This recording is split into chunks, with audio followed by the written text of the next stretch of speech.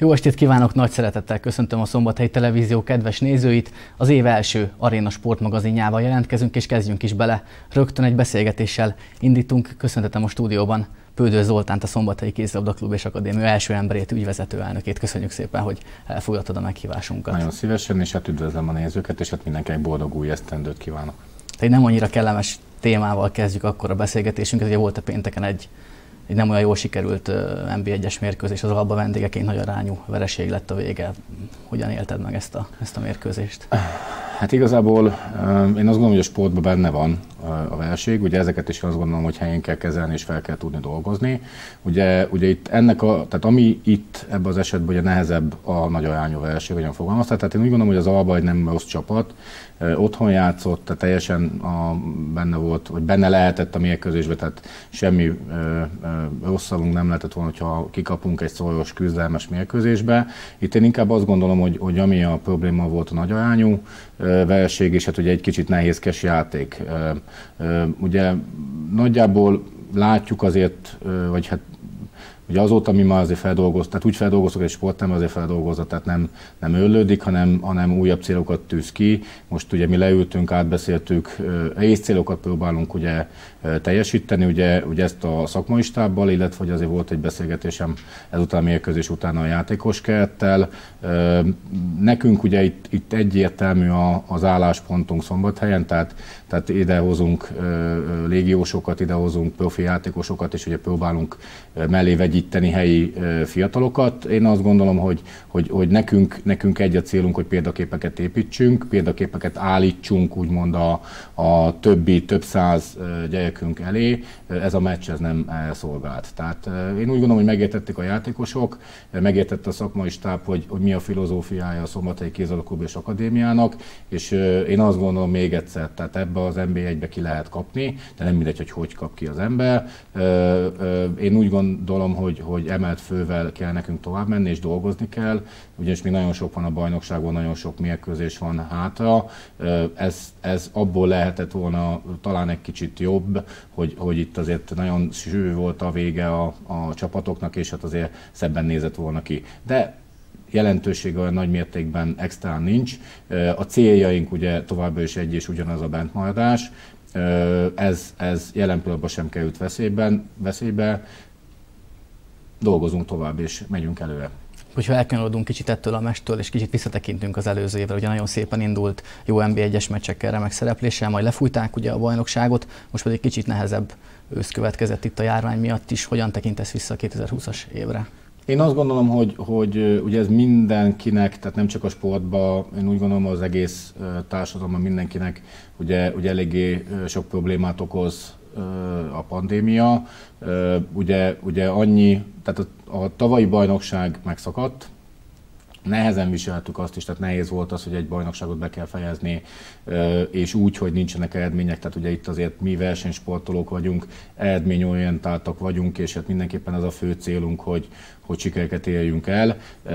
Sajnos ugye nem sikerült, viszont ugye nagyon sok új dolgot tanultunk meg itt az elmúlt időszakban, tehát az, hogy, az, hogy tehát, tehát jobban talán hogy mondjam, tehát jobban fogunk tudni koncentrálni egymásra, tehát ugye ez lett, a, ez lett én azt gondolom, hogy a fő cél, tehát jobban vigyázunk az egészségünkre, tehát ebből a szempontból az utóbbi időben egy kicsit óvatosabbak lettünk. Nagyon nehéz volt, ugye a legnehezebb, amit meg kellett élni a klubnak, én úgy gondolom, hogy a, a szurkolók nélküli mérkőzések, tehát talán ez, ez a legfájóbb pont nekünk, sportvezetőknek, hát igazából meg illetve sportolóknak, hogy a szurkolók nem lehetnek ott testközelben a mérkőzéseinken. Én azt gondolom, hogy viszont azt büszkén nézhetek, vagy büszkén mondhatjuk, hogy a szurkolóink mai napig mellettünk állnak és támogatnak minket mindenbe. Jelzik felénk, hogy a napi, vagy hát nem is napi, de heti kapcsolatban vagyunk mi is, vagy vagyok én is a szurkolók vezetőivel, egyeztetünk, beszélgetünk, mindig kérdezik, mi be lehet segíteni, tehát úgy gondolom, hogy nagyon kiveszik a, a részüket a klub életéből, és ezt szeretnének a csapat mellett lenni. Ezt látjuk ugye a legutolsó hazai mérkőzésen is, transzparenssel jelentek meg, készítettek, biztatták a csapatot, én most kicsit úgy gondolom, hogy a csapatnak fel kell nőni a szurkoló táborhoz a következő időszakban, és bizonyítani kell. nagyjából én azt gondolom, hogy, hogy ennyi. A klub itt az év vége fele részt vett, hogy hát indított több jótékonysági akciót is, vitamin, ételadományok, illetve rászoruló gyerekeknek is kezdeményezett adományozást. A klub miért tartottátok ezt fontosnak? Hát ugye ez egyértelmű, tehát egy közösség vagyunk, tehát uh, én úgy gondolom, hogy ugyanúgy, ahogyan uh, nekünk, nálunk megjelennek a szponzorok, tehát uh, mi közösségnek is szerepet kell vállalni ugye a helyi uh, életben, szombathelyen, uh, főleg úgy, hogy, hogy azért a játékosaink a klub egy ikonikus klub most már uh, uh, szombathelynek, uh, és hát nekünk ugye azokat, akik akár segítettek nekünk, mikor nem volt probléma, és most ugye náluk van a nehezebb helyzet, így gondolkodtunk, tehát olyan helyeken, ahol, tehát például a mentősöknél, akik ugye kint voltak a mérkőzéseinken, biztosították, vagy hát biztosítják ugye a, a, a sérülés utáni minél gyorsabb ellátást, vagy hát az iskolák, akikkel ugye napi kapcsolatban vagyunk, tehát általános iskolák, akik még mindig nyitva vannak, hát így próbáltunk ugye végig, tehát végig gondoltuk, hogy kiknek tudunk, és én nagyon büszke vagyok, hogy mint a közösségünk megmozdult, tehát a gyűjtésnél, például az adománygyűjtésnél a, a, a gyermekotthonnak, illetve én azt gondolom, hogy a szponzoraink meg, amikor kellett a segíteni akár vitaminnál, vagy akár az ételcsomagnál. Én nagyon köszönöm mindenkinek, minden támogatónknak, illetve a minden szurkolónknak, minden közösségünk tagjának, hogy, hogy egyáltalán részt veszünk. Szeretnénk ezt mindenképpen tovább folytatni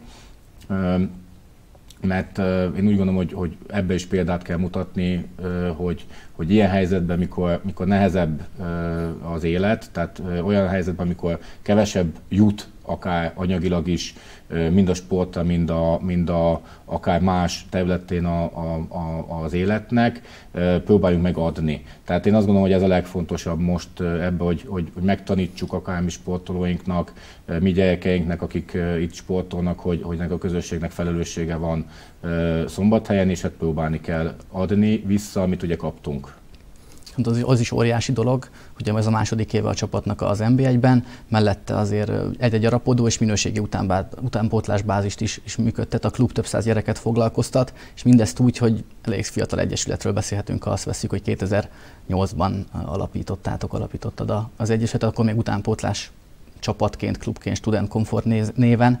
Hogy vezetetted az út ilyen rövid idő alatt ilyen magasságokig, hogy NB1-es csapat és ilyen, ilyen szintű utánpótlásbázis? Hát igazából ugye azért annyit ö, magam érdemeiből el kell venni, hogy, hogy azért egy olyan alapokra tettük le az egészet, tehát vagy építettük hozzá, ami meg volt a 90-es évektől, hogy a Szombathelyi Sport Központ és Sportiskolán belül volt ugye kézlabda szakosztály, illetve ugye az egyetemi kézlabda élet is ugye azért elég komoly igaz adhok volt, tehát attól függ, hogy milyen érkezők voltak az egyetemet tovább tanulni. Tehát, tehát nem egy olyanba fogtunk bele, tehát nem egy olyan építettünk föl 2008 óta, ami, ami újdonság volt, hanem igazából kibővítettük, ami, ami volt, és egymásra építettük 2011-től.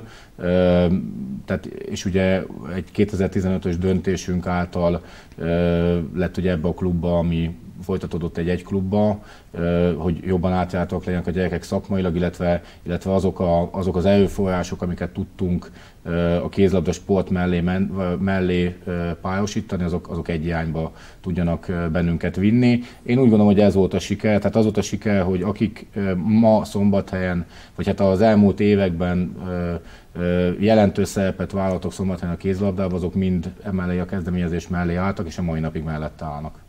Viszont ami nehezíti kicsit a klub életét, ez a terem problémák, teremhiányok, mennyire nehezíti meg ez a, ez a dolgotokat, a csapat, csapatok dolgát? Hát én azt gondolom, hogy, hogy, hogy ugye, ha most a pandémiát nézzük, tehát most pandémián kívül is ugye nehéz, de most a pandémia alatt még nehezebb, tehát ugye a, a, a közintézmények, az iskolák ugye bezárták úgy a kapuikat, hogy csak az intézményben tanulók sportolhatnak, tehát ebből még szűkül, tehát még nehezebb helyzetben vagyunk. De hogyha most én azt gondolom, hogy, hogy veszünk egy olyan alapot, hogy, hogy nincs vírus, és lesz ilyen, hogy nincs vírus helyzet, akkor is úgy gondolom, hogy, hogy, hogy, hogy há, tehát két dolgot mindenképpen szeretnék kiemelni, hogy hogy Szombathely sportok városa, tehát nagyon sok sportoló van, tehát mind csapatsport, mind élsport, illetve mind szabadidősport, tehát alapból én azt gondolom, hogy, hogy ma Szombathelyen a termkapacitás, a, sportolási lehetőségeknek a mennyisége az korlátozott. Tehát mindenképpen én úgy gondolom, hogy, hogy, hogy így is nehéz termet szerzni, tehát nem egy, nem egy új, dolog, új dolog, hogy most mi nem tudunk, hanem, hanem, hanem összességében nem. Kicsit az nehezíti még a mi helyzetünket kézlabdásokét, hogy egy speciális sportágról beszélünk, ahol ugye VAX használatot írnak elő, vagy hát lehet használni a Voxot. Ugye ez a többi sportágban nem nincs jelen, és emiatt ugye egy kicsit az edzések közötti átmenet azért bonyolítja, tehát az, hogy most utána takarítani kell, tehát ezért kicsit speciálisabb a helyzete a, a, a szombathelyi kézilabdának. Én azt gondolom, hogy, hogy megoldást lehet, ugye ez régóta tervezünk, meg, meg, meg már nem, nem mostani terv, egy, egy munkacsarnoknak a létrehozása, nagyon dolgozunk ezen, azt gondolom, hogy, hogy lehet, hogy nem most van itt az ideje egy ilyen vírussal teli helyzetbe, viszont Szombathelynek lesz egyszer jövője sportéletben is, és hát én azt gondolom, hogy, hogy előbb-utóbb munkacsalnak, tehát nem, az, tehát nem úgy gondolom, hogy, hogy itt uh, paza építményeket kell, hanem ahol a fiatal be tud menni sportolni, a szabadidős sportoló együtt tud lenni továbbra is, uh, az, azon biztos, hogy el kell kezdeni gondolkodni. Amúgy én meg azt gondolom, hogy most jelen pillanatban a, a termhelyzetünk teljesen, tehát viszonylag kiegyensúlyozott, tehát te, természetesen most a pandémiát is nézem, tehát nem, nem kielégítő, de, de, de, de a szakmai munkát én úgy gondolom, hogy, hogy nagy mértékben tudjuk látni, és ugye ezért nagyon köszönhető annak is, hogy a Aladás sportkomplexumban is részt tudunk venni, vagy jelen tudunk lenni. Itt azért a városvezetésnek is egy nagy szerepe van, hogy, hogy akár itt most az átadás, átvétel között sincsenek problémák, tehát itt is tud folytatódni, tehát biztosítva lett a Szombathely Kézilabda Akadémia helyzete a, a, a, a haladás sportkomplexumba, illetve én azt gondolom, hogy a másik, ugye méltó helyen vagyunk a mérkőzések szempontjából, hogy az Aina szavájába, ott teljesen azt gondolom, hogy a Falkóval napi szinten kapcsolatban vagyunk ilyen téren, hogy egyeztessük a mérkőzéseinket, teljesen együtt tudunk ott dolgozni, megvan az, hogy, hogy a mérkőzéseket be tudjuk vinni, tehát teljesen jó az együttműködés, de ugyanígy azt gondolom, hogy, hogy a napi életben is, a haladáson belül is jó az együttműködés. Most az biztos, hogy, hogy hogy még szükség lenne terme, de jelen pillanatban ennyi van most szombathelyen. Bízunk abban, hogy minél előbb az iskolák felszabadulnak, birtokba tudjuk venni, illetve hogyha ne talán egy olyan koncepció kialakul, hogy valamikor a kézilabda, kézilabdának mi vagy egy speciális sportág a VAX használat miatt, munkacsarnok létrejött, mi azt mindenképp azt gondolom, hogy szakmailag egy jó döntés lehetne szombathelyen. És már beszéltünk, vagy beszélünk az utánpótlásról, az mindenképp bizakodásra ad okot a jövőt tekintve a fiataloknak a remek szereplésére. Most nem ügyvezető elnökként, hanem edzőként kérdezlek, mint az IFI csapat vezetőedzője. Ugye a csapatot két fronton is szerepel az NB1B-ben, a felnőtt NB1B-ben, meg a korosztályos bajnokságban. Hogyan látod a szerepléseteket? Mik a célok idén? Ö, hát igazából kicsit azt mondom, hogy, hogy, hogy ö, tehát amilyen én igazából büszke vagyok, tehát egy kicsit maximalistaként, tehát hogy azt gondolom mindenki a versenysportban maximalista, tehát próbál elérni uh, teljesítményt, uh, tehát edzőként is így vagyok, illetve klubelnökként is így vagyok, tehát uh, nekünk ugye mindig is az volt a, a sikerünknek a kulcsa, én úgy gondolom az elmúlt tíz évben, hogy, hogy próbáltunk minőségi képzést összerakni. Tehát ez a minőségi képzés látszódik most is a felnőtt csapaton, tehát az, hogy tudunk helyi játékosokat, helyi nevelésű, saját nevelésű játékosokat a felnőtt csapatba delegálni. És ebbe a magyar NB1-be én azt gondolom, hogy, hogy, hogy meg is állják a helyüket.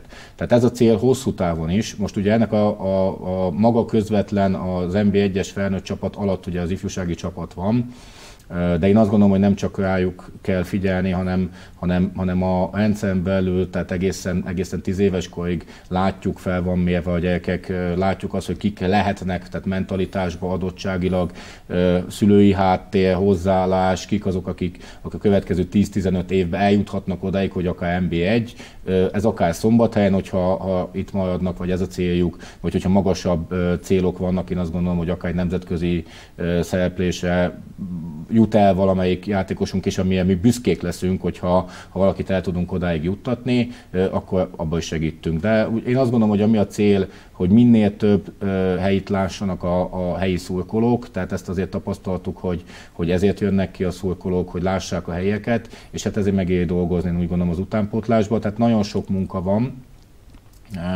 és talán kicsit úgy mondom, hogy a, a, az ifi csapat a, most azért is nézünk nagyobb gorcsövel, hogy a következő egy-két évben belőlük kell majd úgymond feladni három-négy olyan játékost, és úgy gondolom, hogy most vannak, és ez, a mostani eredményeikben meg is látszódik. Tehát nincsenek olyan extra céljaink, a, a, a, a másodosztályú NB1-b és tehát egy félprofi bajnokság, tehát felnőtt bajnokságban játszik az ifj, ifjúsági csapat. Most jelen a dobogó harmadik helyen áll, de hát ez úgy gondolom, hogy ez nem a realitás, tehát itt a reális helyzet az, hogy egy középmezőny vagy, vagy a, a bennmaradás, biztos bennmaradás, én azt gondolom, hogy ez a fő cél a, az NB1-b és bajnokságban. Hát az ifjúsági bajnokságban azért én úgy gondolom, hogy lehet magasabbra tenni a cél, de elkiabálni nem szeretném, mert ugye több fronton játszok, tehát ezek a játékosok nem csak ifit nem csak NB1-b, hanem azért nagyon sokszor játszák az NB1-et is, tehát most már nekünk ugye azért föl kell adni játékosokat, és hát ugye ebbe a három bajnokságban, hogy hogyan tudjuk leszerepeltetni, és éppen hogyan jönnek ki majd még a mérkőzések, azok még egy kicsit ö, ö, odébb vannak, de én azt gondolom, hogy ha szerencsénk van és jól jönnek ki a mérkőzések, jól tudunk sáfálkodni az erőforrásainkkal, akkor azért ki lehet tűzni mindenképpen egy, egy akár egy ö, továbbjutást az ifjúsági bajnokságban, ami egy óriási szó lenne. Zárásként egy utolsó kérdés. Mit vársz a 2021-es évtől, mik a célok az új évben? Hát én egyértelműen azt, azt várom, hogy, hogy ennek a vírus helyzetnek legyen vége. Tehát most nem is szakmai várományosokkal, vagy elvárásokkal indulok. Tehát legyen vége, mert szörnyű. Tehát ez, ez szörnyű, én azt gondolom, hogy mindenkinek a sportolótól, a, a, a, a gyájmunkástól, a, a pedagóguson keresztül, azt gondolom mindenkinek egy szörnyű helyzet ez. Ezen, ezen azt gondolom minél előbb újra kell lenni, hogy ismét tudjunk normális szakmai munkát folytatni, de azt gondolom az élet minden területén mindenki nek ez a célja, hogy normális munkát tudjon folytatni. Idén én, én azt gondolom, hogy a 21-es bajnoki szezon, illetve én azt gondolom a következő bajnoki szezon is, is stabil NB1-es tagságot várok, hát igazából ez a célunk, hogy bennmaradás, és a bennmaradás, biztos bennmaradás legyen a klubnál. Nehéz évek lesznek, tehát én azt gondolom, hogy ez a mostani gazdasági helyzet is tovább fog győződni. Tehát mi, mi is óvatosan terveztük a következő szezont, nem is hiszem, hogy, hogy lehetne másként megfontoltan, csak visszafogottabban, még mint akár az idei szezont, de mindenképpen azt a célt szem előtt tartva, hogy, hogy Szombathelynek mindenképpen kell az első osztály. Látjuk a gyerekekből, látjuk a szurkolókon keresztül, hogy rengeteg ember jön ki, úgyhogy mindenképpen én azt gondolom, hogy ez a fő célunk, hogy az első osztályú tagságot megtartsuk, és utána meglátjuk azt, hogy, hogy milyen gyerekek nőnek föl Szombathelyen, milyen gyerekeket tudunk beépíteni, hogy lehet-e magasabb célokat akár kitűzni. További jó munkát. Köszönöm Kívánunk Eszpödő Zoltának, köszönjük szépen, hogy elfogadta a meghívásunkat, Köszönöm és szépen befáradt hozzánk. Köszönöm. Mi pedig menjünk tovább, és zárásként nézzük meg, hogy hogyan készülnek a, a 2021-es versenyszezonra a dobóese atlétái. November közepe óta készülnek a 2021-es versenyszezonra a szombathelyi dobóese Német Pál Dobóakadémia atlétái. Az Egyesület versenyzőit a Sugárúti kiscsarnokban tartott edzésen látogatta meg a szombathelyi tévéstábja. Úgy érzem, ahogyan a terv szerint jó, jó állapotban mindenki. A, ez a Covid dolog ez elmenne, az évben is szerintem jól működnénk. Meglátjuk, hogy milyen hamar győzi meg a világ ezt a dolgot. A nagyon hosszú alapozó időszak májusig tart, addig kemény edzések és mennyiségi munka vár a versenyzőkre. Fontos is a megfelelő felkészülés, hiszen idén remélhetőleg már minden világversenyt megrendeznek. Most úgy néz ki, hogy lesznek, pláne hogyha már az oltás itt mindenkinek elérhető lesz, akkor nagy valószínűséggel minden világverseny meg lesz tartva minden korosztályban, minden nembe érdekeltek vagyunk, úgyhogy nagy várakozásokkal tekintünk az idei világversenyek elé, különösen az olimpia elé, ahol hát a ketten már szinten rendelkeznek, Halász Bence és Gyurász Réka, Pars Krisztián is kótás helyen van, és nagyon közel van hozzá Rába Dani is.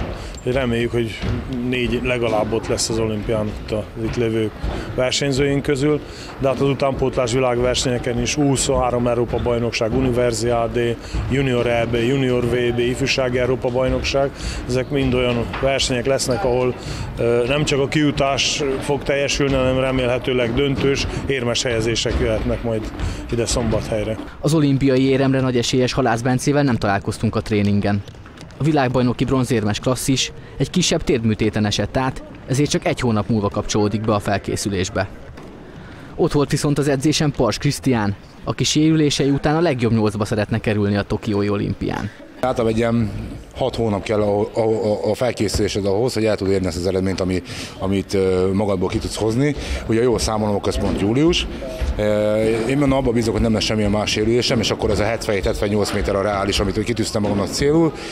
Egy pici gondom, bajom van még az jelen pillanatban a technikám amit ugye a, a baltér problémá miatt hát egy kicsit elrontottam, hiszen leterheltem a baltérről, és a baltéren kell forogni, úgyhogy az a nagy feladat most a következő egy-két hónapban, hogy ezt vissza kell rakni. És ugye nehéz abban a helyzetben, amikor már egy terheléses időszakban vagyunk, és nehéz odafigyelni a technikára, hiszen le van terhelve a szervezet, és nincs abban pihent állapotban, és sokkal nehezebb, de hát az évek meg a rutin remélem mellettem szólnak, úgyhogy bizogok. A dobó ese fiatal atlétája, Rába Dániel tavaly egyéni csúcsot ért el, és ő is nagyon közel került az olimpiai szinthez. Hatalmas cél az olimpia, ugye hát ebből nem tudom, hogy mi lesz még, de hát nagyon-nagyon remények, reményeket fűzök hozzá. Ugye itt az edzésen kell megmutatni először, hogy mit tudunk, és utána a versenyeken. A tavalyi évben országos csúcsot döntő Gyurász Réka viszont biztosan ott lesz az ötkarikás játékokon Japánban.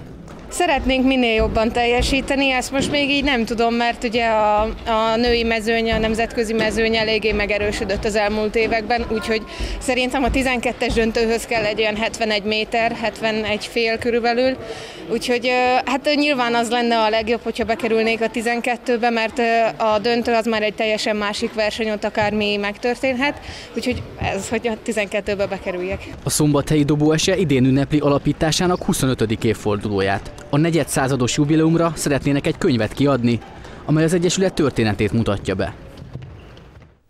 Kalapásvetők után már csak elbúcsúzni van idő, mennyi fért mai adásunkban. Munkatársaim nevében is köszönjük szépen a megtisztelő figyelmüket. Találkozunk egy hét múlva, tartsanak velünk akkor is. Vigyázzanak magukra a viszontlátásra!